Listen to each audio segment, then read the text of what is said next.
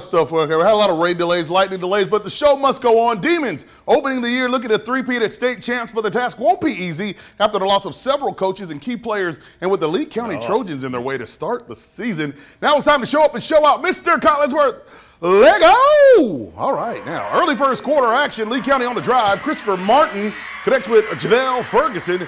And that will be good for a touchdown. The visitors get on the board first, 6 0 after the missed extra point.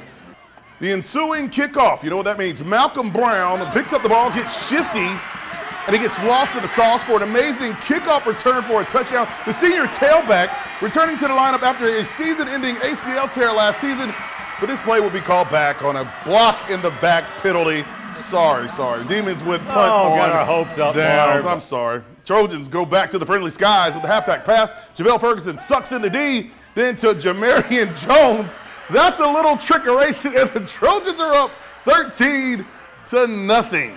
The Demons would respond, though. They answer the bell. Chase Reese, the quarterback, junior, to Cam Flowers, and he's not gone.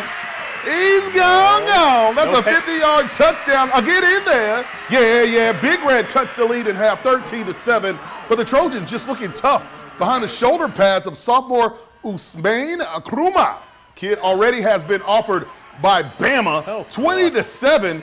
Lee on top, but the last play of the first half, senior Daniel Barber. Can I kick it? Yes, yes you, you can. can. That's a 37 year, yard field goal Woo. to trail by 10 points at the half. Let's go to the FFN scoreboard for the final. And the Demons start the season with a loss. Uh, first time you hear that in a while. Lee County wins 26 to 10.